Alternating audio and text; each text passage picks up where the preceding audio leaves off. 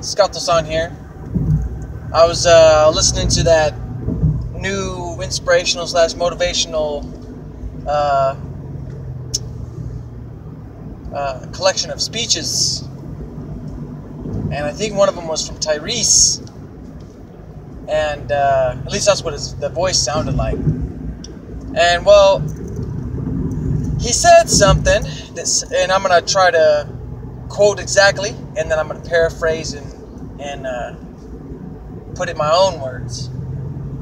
He said, "For every level, there's another devil." For the longest time, I knew that every time something difficult came my way, all it was was another test. There are things out there.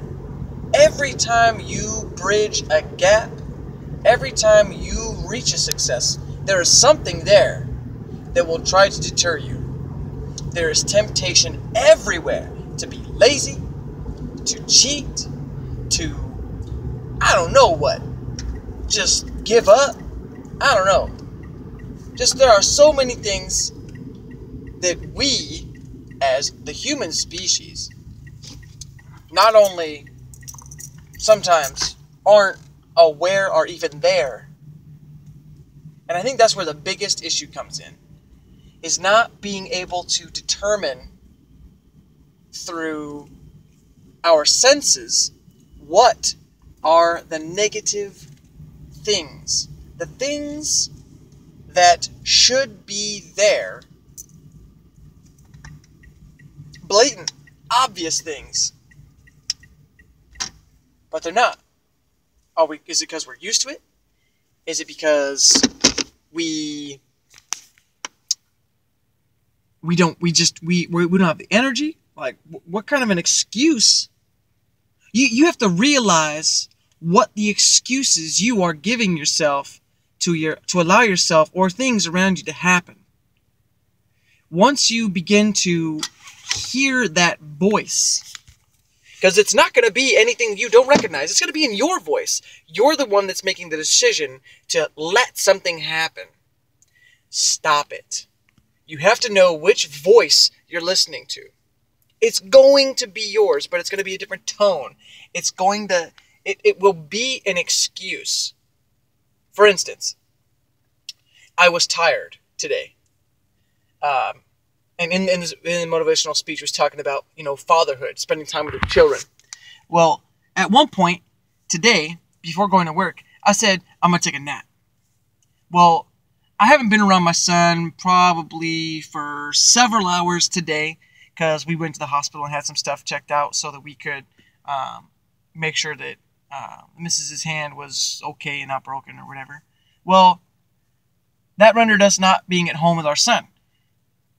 I decided that because I just ate and ate too much, I was full, I became tired, sluggish, that I needed a nap.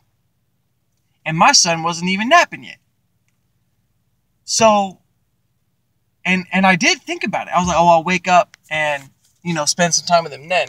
Well, I woke up and he was kind of ready for a nap himself. You know, acting all you know, not wanting to be lovey-dovey or hanging out or nothing.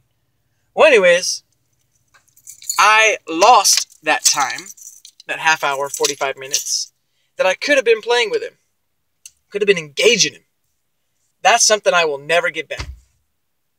Now, granted, do you need naps sometimes? Yeah. Well, for me, I still think it puts a distasteful whatever in my mouth. It's just, I don't like it. I don't like the fact that I decided that I needed a nap. I really don't. I think I should have pushed through. I should have came to work, worked out, swam some laps, and just grinded out the rest of the day knowing that I didn't take a nap so I could spend some time with my son and my lady. I am in a position to start making changes in my life. And I'm not willing to listen to the excuses anymore. I've been listening to them for a long time. If somebody else starts giving themselves excuses, I can make a change. for what I do. I can react to something differently and be the example. I am in control of me.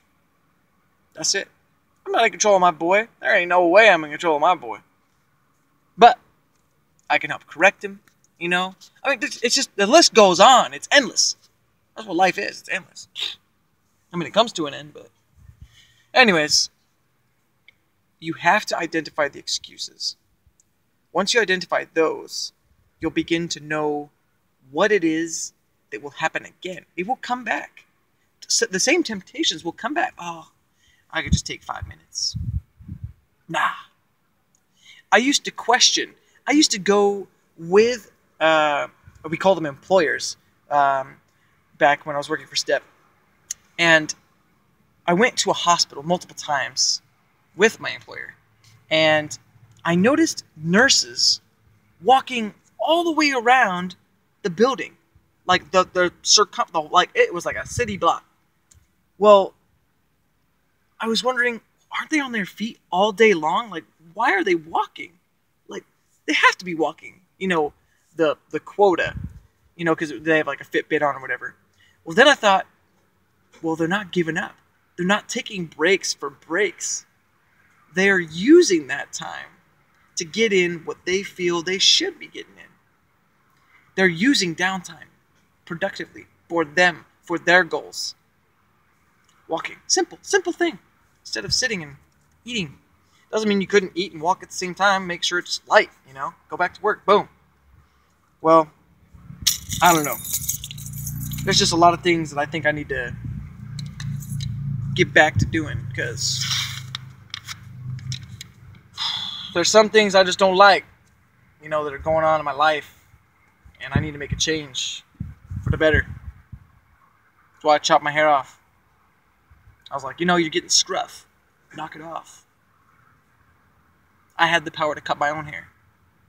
I was worried about money. I wanted to go, go get my hair cut so I could keep my hair. I said, Your family needs money. What are you doing? Just cut your hair. Shave. Well, I did. That's the end of my rant. This is Skattosan.